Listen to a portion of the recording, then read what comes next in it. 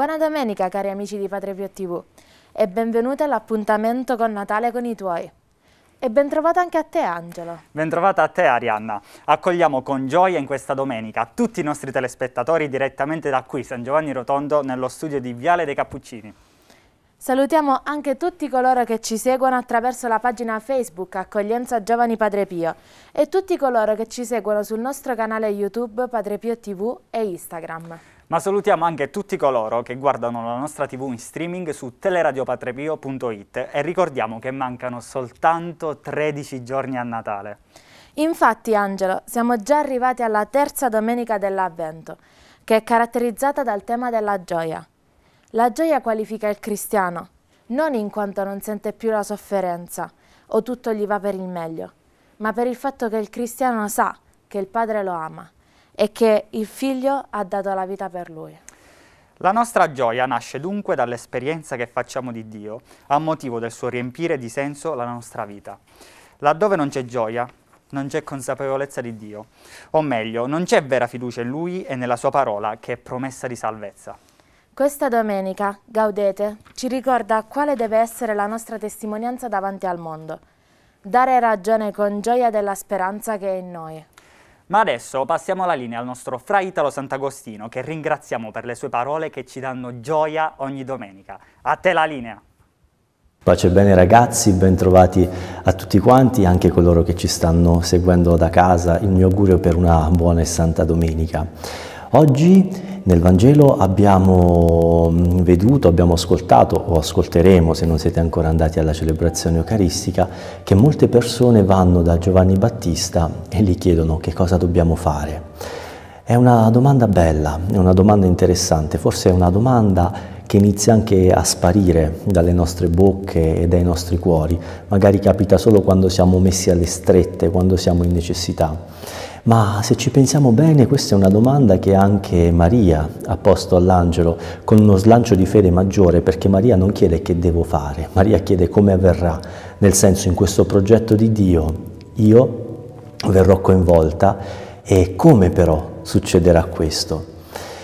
Cosa succede a volte nella nostra vita? Che non sappiamo il passo giusto, quello che dobbiamo fare, ma c'è un'energia che ci spinge molto forte.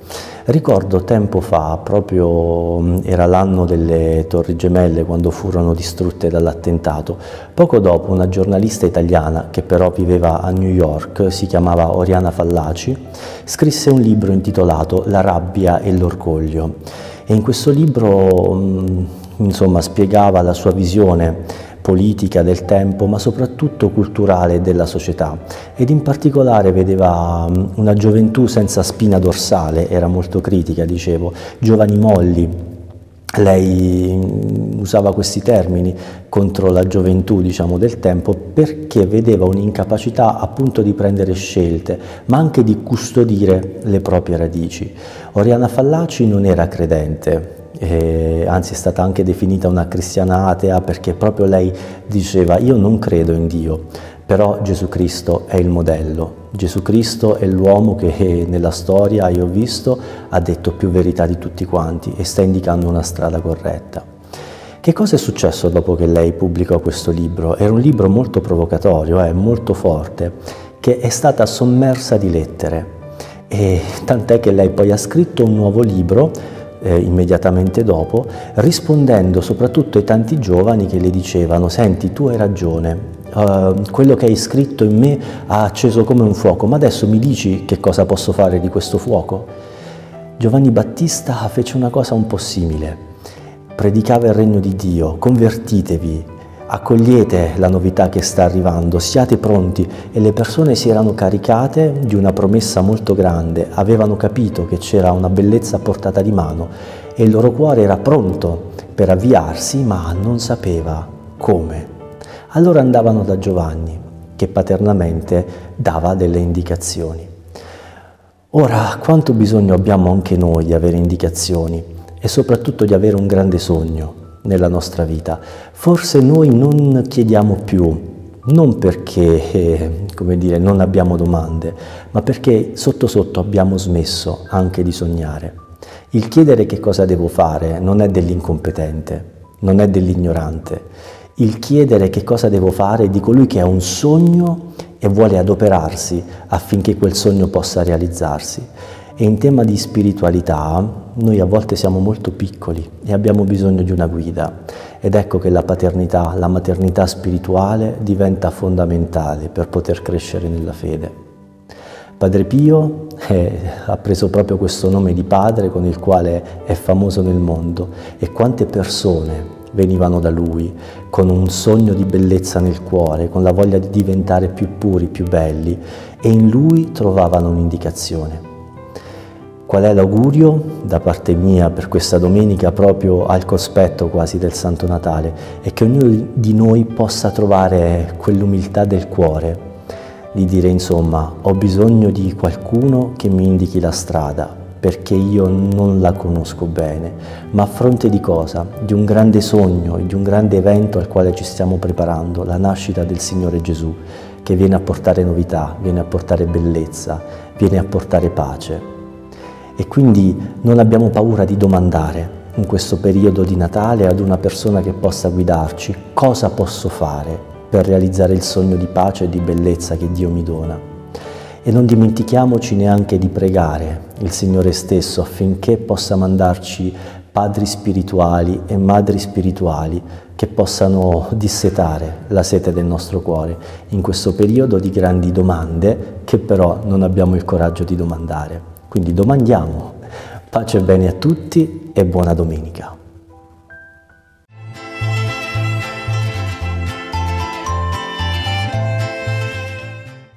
Grazie Fra Italo, appuntamento a domenica prossima. Ma intanto siamo giunti alla nostra rubrica fissa con gli appuntamenti del nostro santuario e lo facciamo con Marianna Lops. Benvenuta Marianna. Grazie, grazie, buona domenica. Marianna, in questa domenica stiamo trattando il tema della gioia. Non possiamo non chiederti, visto che il vostro ufficio è in stretto contatto con i pellegrini, con quanta gioia ed entusiasmo i fedeli di Padre Pio preparano un pellegrinaggio. Beh, i pellegrini ci contattano e ci contattano con tanta gioia, più che altro con tanta aspettativa, perché eh, in questo periodo difficile è, è, è, proprio complicato riuscire ad organizzare un pellegrinaggio, quindi in molti, soprattutto la scorsa estate, abbiamo visto anche con le varie interviste che sono state fatte ai pellegrini che venivano in visita qui a San Giovanni Rotondo, c'era tanta aspettativa e la vera gioia si raggiunge nel momento in cui i pellegrini riescono ad arrivare a San Giovanni, perché quando ci contattano ovviamente è tutta una fase preparatoria, ci chiedono le attività del momento, gli orari eh, di apertura, di chiusura, insomma le domande solite che, che si fanno quando si, si programma di visitare un luogo, però quando poi si arriva qui a San Giovanni Rotondo e finalmente riescono ad arrivare dinanzi al corpo di San Pio e quindi pregare davanti alle sue spoglie, ovviamente lì c'è un vero momento di, di gioia. Marianna, tanti arrivano qui con un cuore pieno di sofferenza, disperazione, ma tornano a casa con un cuore ricco di gioia. Perché la gioia non è avere, non avere più sofferenza, ma soprattutto è certezza che il Padre lo ama. Ed è così anche quando si arriva da Padre Pio. Beh, sicuramente quando si arriva qui da Padre Pio si ha la certezza che Padre Pio c'è ed è lì per ognuno di noi, è lì per intercedere per ognuno di noi, come ha sempre fatto, quindi eh, rappresenta la certezza per i fedeli di San Pio. Ci stiamo avvicinando sempre più al Natale e tantissimi vogliono conoscere gli appuntamenti e le celebrazioni delle prossime settimane. Puoi ricordarle?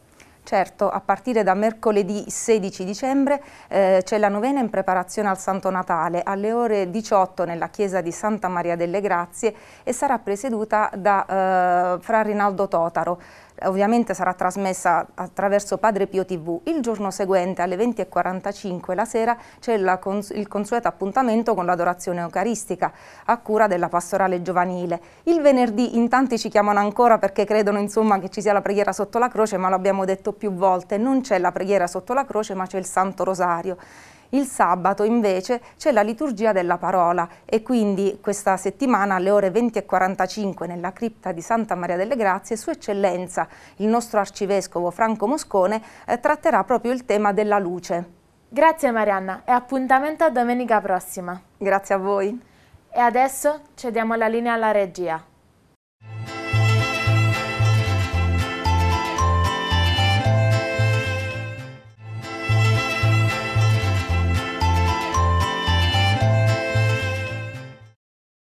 Ritorniamo in diretta per raccontarvi una bella storia.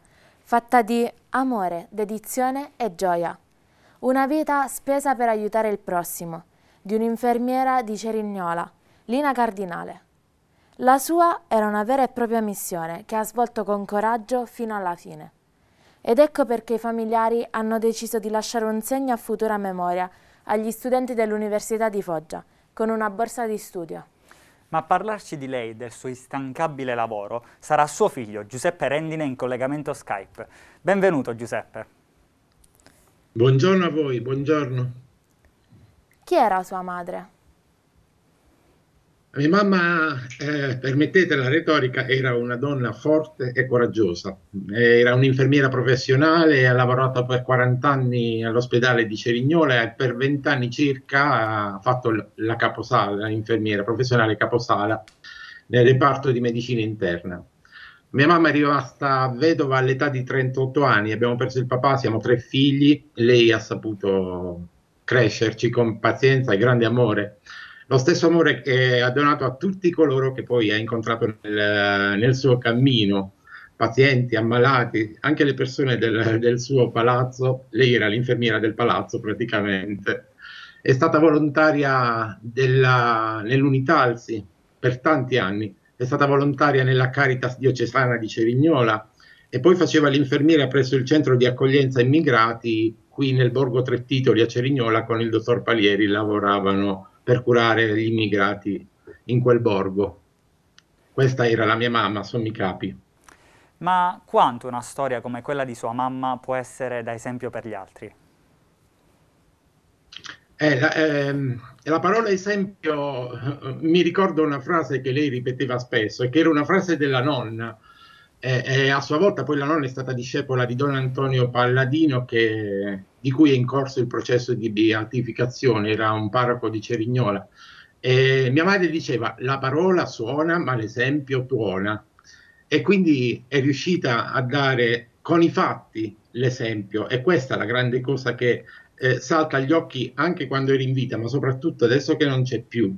Lei parlava poco e faceva molto, ecco, e quindi eh, questa cosa c'è stata ad esempio perché agire, eh, parlare poco ma agire nei confronti di chi ha bisogno immediato. Dal momento del dolore della perdita, voi familiari però avete vissuto un momento di gioia nel donare la borsa di studio ad uno studente meritevole dell'Università di Foggia. Com'è nata questa idea? Eh, sì, nel momento più buio della nostra vita il desiderio più grande è stato quello di ricordarla nei futuri infermieri. Eh, io sono un sanitario e lavoro da 25 anni nella sanità, sono un fisioterapista. Ho visto parecchi infermieri che mi hanno raccontato negli anni le loro storie. Ci sono diverse persone che poi certe volte non riescono a sostenere gli studi. Eh, mia madre amava essere infermiera, amava molto il suo lavoro. Mia madre eh, ha fatto la scuola infermiera a San Giovanni Rotondo negli anni 1965 e proprio per questo, quindi abbiamo, siccome a San Giovanni Rotondo è una succursale della, dell'Università di Foggia, abbiamo deciso di dare questa borsa di studio per chi ha difficoltà eh, a pagarsi gli studi ma vuole diventare infermiere a tutti i costi. Sua madre era molto devota a Padre Pio. Questa sua instancabile dedizione al lavoro, al donarsi agli altri, è dovuta anche fortemente alla sua fede. Certo, eh, la fede che è stata rafforzata proprio negli anni in cui faceva la scuola allievi infermieri a San Giovanni Rotondo. E lei ha vissuto gli ultimi anni di Padre Pio, eh, Padre Pio lo, lo ha vissuto, è riuscita anche a confessarsi perché Padre Pio eh, di tanto in tanto confessava le allieve della scuola infermieri alle 5 del mattino, mi raccontava, a due a due ogni giorno. E, ehm, era una grande donna, una, una, donna di grande fede, perché avendo vissuto eh, in pieno Padre Pio, lo ha portato nel cuore per, per tutto quel tempo che, in cui è riuscita a dare tutto l'amore possibile agli altri e quindi eh, questa, eh, questa, cosa le faceva, la fortificava nella fede giorno per giorno. Ecco. Grazie Giuseppe per questo momento che ha voluto condividere con noi e soprattutto che il suo gesto sia ad esempio per molti. Grazie, grazie a voi. Buona giornata. Buona, Buona domenica. domenica. Buonasera, sono il professor Di Mauro Fabio dell'Istituto Alberghiero Michele Lecce. Oggi siamo qui con i miei alunni a preparare il piatto domenicale.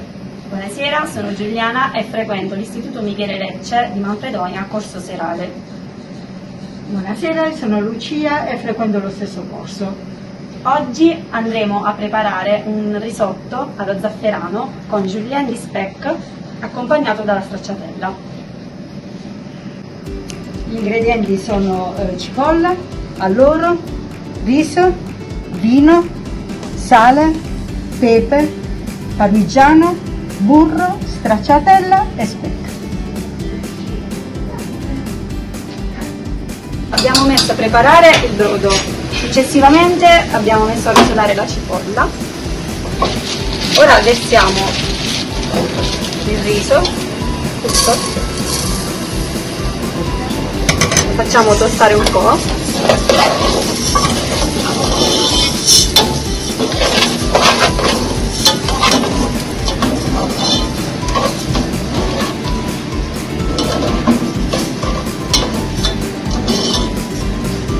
Dato il riso, versiamo il vino bianco.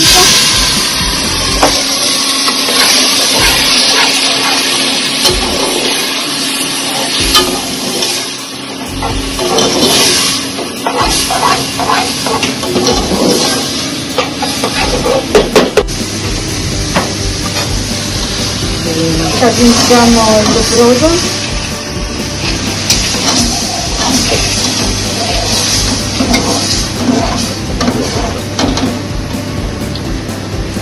aggiungere lo zafferano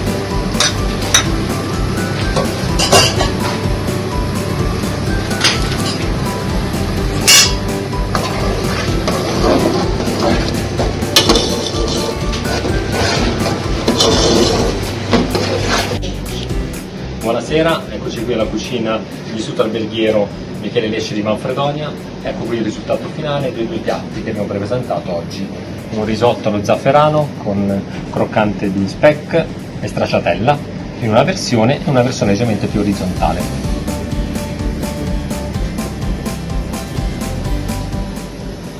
E ora passiamo la linea allo studio.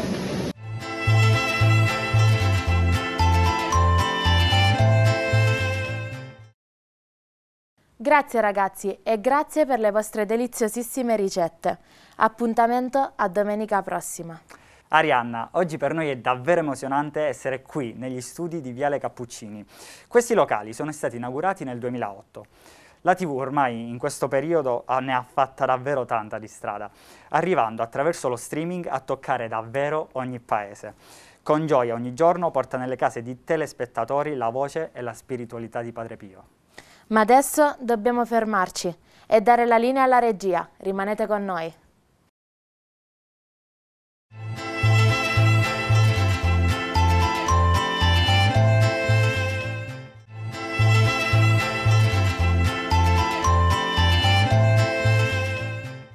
Torniamo insieme nuovamente in diretta dagli studi di Padre Pio TV con Natale con i tuoi. Angela, questo tempo di avvento ha lo scopo di aiutarci ad aspettare Gesù poiché tutti abbiamo bisogno di perdono, di guarigione e di gioia, che solo Lui può dare. In questi mesi, purtroppo, se parliamo di gioia o chiediamo in giro, soprattutto ai nostri coetanei, tutti sono molto preoccupati e non si vive più con la spensieratezza di quel tempo prima del Covid. Dovremmo imparare a trovare la gioia nelle piccole cose, ma soprattutto in questo tempo la nostra gioia ha un senso perché è motivata dal fatto che il Signore è vicino. La gioia cristiana possiede un segreto. Non ha consistenza in se stessa e non nasce puramente dalle cose, ma viene da un altro. E adesso vogliamo continuare a gioire con chi ogni domenica ci regala un sorriso e tante belle testimonianze. Lo facciamo con Sor Moria Stradiotti che ci chiede la linea.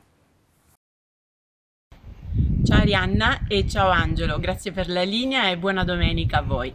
Oggi, giornata gaudete, terza domenica d'avvento, ho deciso di non intervistare nessuno non e non farvi conoscere nessuno che sia presente fisicamente accanto a me, ma ho deciso di, mm, di portarvi in un posto che, nonostante la struttura, rappresenta gioia.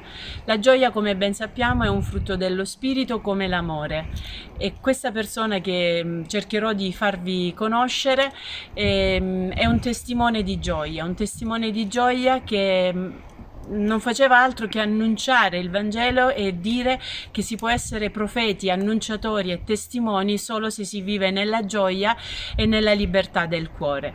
Siamo ad Alessano comune di nascita di Don Tonino Bello, da poco è venerabile. Venerabile che come sappiamo significa essere uomo buono, uomo giusto. E stiamo parlando di Don Tonino Bello che anche lui ha a che fare con i francescani in quanto terziario francescano. Siamo sulla tomba di Don Tonino Bello, luogo che vede centinaia e centinaia di pellegrini a pregare su questa tomba, a chiedere a Don Tonino grazie, a chiedere a Don Tonino luce. Questo è il luogo di sepoltura di Don Tonino Bello, ma allo stesso tempo, come vi dicevo prima, è strutturato in modo che le persone, i gruppi, soprattutto chi viene in pellegrinaggio, può fermarsi qui e sostare in preghiera.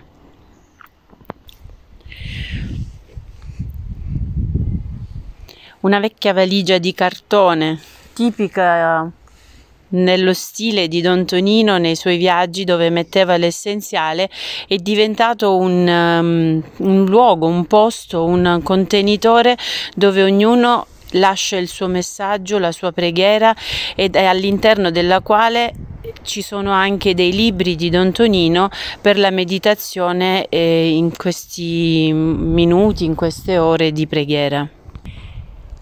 In questa immagine invece possiamo vedere un, uh, un quadro, una stampa, diciamo così, eh, della visita del Santo Padre sulla tomba del venerabile Don Tonino Bello nel 2018 in occasione del suo 25 anniversario dalla morte. Questo luogo di preghiera è caratterizzato da alcune frasi di Don Tonino. Ama la gente, i poveri soprattutto e Gesù Cristo. Questo è il messaggio che continuamente Don Tonino ha lasciato nei suoi libri, nelle sue omelie e nei suoi racconti. In questo luogo, nella notte degli anniversari che riguardano Don Tonino, ci sono delle fiaccolate di preghiera e un percorso che viene fatto anche nell'arte. Come possiamo vedere da queste scritte, in piedi costruttori di pace è, ehm, è riferito anche al momento storico in cui Don Tonino fece parte anche di Pax Christi, grande promotore, grande testimone della pace e dell'incontro con l'altro. So di avervi detto poca cosa, ma per noi Don Tonino è una figura molto importante e in fondo il legame con eh, San Giovanni Rotondo, con Padre Pio e francescani credo che sia insito nella sua vita, in quanto come forse vi ho già detto era un eh, terziario francescano. Questa immagine che in, in, lontananza ritrae il Papa e Don Tonino è per noi un grande messaggio di speranza e un grande messaggio di, di gioia appunto in questa domenica che è caratterizzata appunto dal Gaudete. E questa è la croce che ha accompagnato Don Tonino Bello nel suo mandato come vescovo nella diocesi di Molfetta, Ruvo, Giovinazzo, Terlizzi. Da Alessano è tutto, un abbraccio e buona domenica.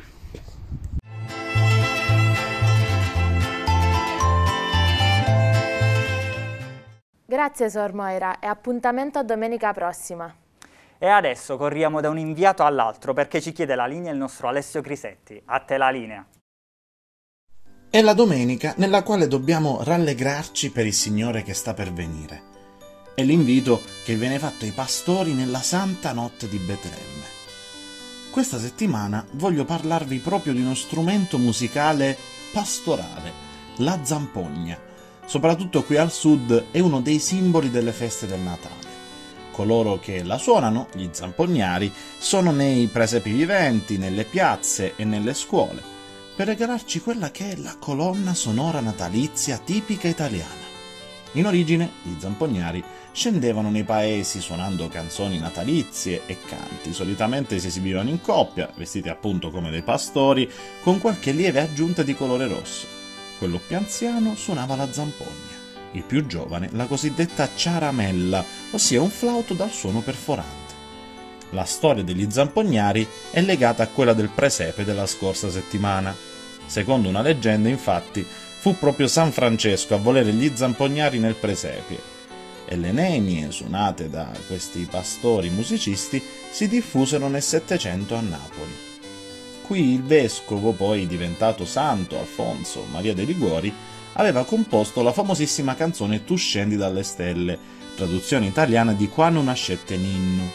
Il santo affermava di essersi ispirato proprio alle figure degli zampognari per scrivere questo canto e grazie a questa canzone De Liguori riusciva a raggruppare i ragazzi napoletani, insegnando loro il testo e portandoli in giro a cantare e contemporaneamente espandere la loro conoscenza del cristianesimo. La zampogna serviva a coordinare proprio il movimento del gregge pastorale che intonava questi canti. Ma l'origine dello strumento e dei suoi suonatori è molto più antica ed antecedente al Natale. Il primo zampognaro era proprio lui l'imperatore Nerone, che amava molto la musica e suonava l'utricularium, un lontano parente della zampogna. Ma l'utricularium era il prodotto romano di uno strumento molto più antico e suggestivo, legato alla iconografia e alla leggenda del dio Pan, della Grecia arcaica. Si dice che i sacerdoti del dio Pan, per celebrare la divinità, volevano creare uno strumento che riassumesse la caratteristica principale del loro dio, l'unione cosmica dell'elemento maschile con quello femminile. E difatti Pan, che in greco vuol dire tutto, veniva rappresentato spesso con il flauto in una mano, l'elemento femminile, e un bastone nell'altra, l'elemento maschile. Pan, a solstizio d'inverno, equilibrava i due elementi in un nuovo ordine segnato dalla rinascita del Sole. Il nuovo ordine invernale, secondo i cristiani, invece è stabilito dalla nascita di Gesù bambino quel santo pargo festeggiato e coccolato dal suono di una zampogna.